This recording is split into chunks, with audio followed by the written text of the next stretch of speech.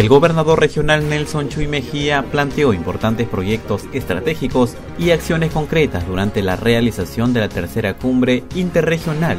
por el bicentenario de la independencia del Perú, que contó con la presencia del ministro de Cultura, Salvador del Solar Labarte, en el histórico distrito de Guaura. Chuy Mejía consideró como prioridad poner en marcha obras enfocadas a reducir la pobreza con sostenibilidad siendo la mejor forma cristalizar inversiones en vías de comunicación que permitan integrarnos al gran mercado como es Lima Metropolitana, que representa el 30% de la población del país. Esta integración de costa a sierra es por la cintura del país, la parte más corta para llegar a Brasil. Y eso va a hacer que este mercado lógicamente se desarrolle notablemente, no solamente los productores, sino el turismo y todo lo que genera el desarrollo. Sabemos que la integración es fundamental. Una de las carreteras que sería importante que se inaugure para el Bicentenario sería justamente una que nos integra a cuatro regiones. Lima, Ollón, Yanahuanca, Ambo, justamente Ucayali.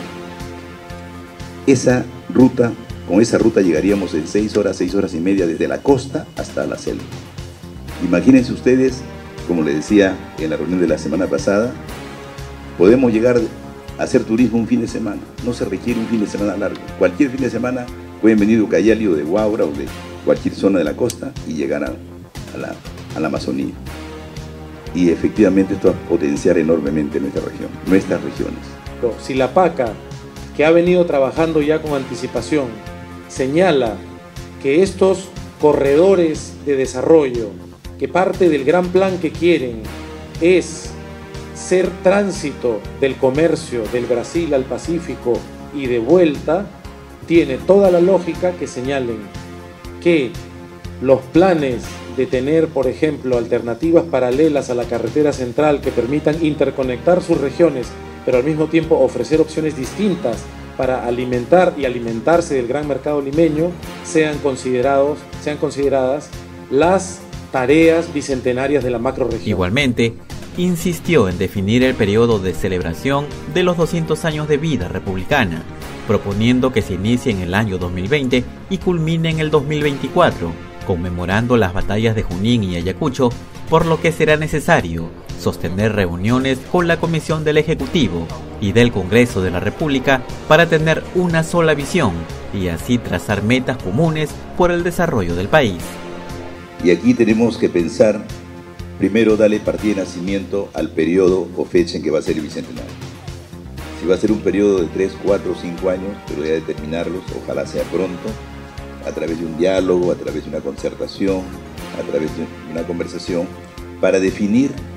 porque hasta ahora siempre se habla del Bicentenario en todos los textos y en todos los documentos del 28. La primera autoridad regional de Lima asimismo adelantó que dentro del plan del Bicentenario se está avanzando en trazar la futura vía costanera que recorrerá los distritos de Huacho, Carquín, Gualmay y Guaura en una primera etapa, así como un campo ferial que fomente el turismo y corredores económicos que generen progreso. De otro lado, se fortalecen las gestiones para que el Banco Central de Reserva del Perú acuñe una moneda nacional con ocasión de esta memorable fecha. Entonces hay una respuesta positiva del Banco de Reservas, firmado por don Javier Gutiérrez González, gerente de gestión, que él mismo nos ha informado que hará las coordinaciones con su ministerio para poner en las monedas probablemente el balcón de Guaura, o que también esté el, eh, el, el, monumento en la pampa de Chacamarca de Junín, o tal vez eh, el monumento de la batalla de Ayacucho y otros. Por su parte,